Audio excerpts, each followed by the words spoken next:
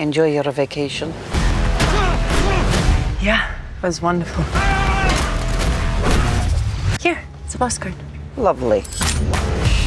You have talents and skills, mostly though. You're a blank key. You have the potential to open many doors.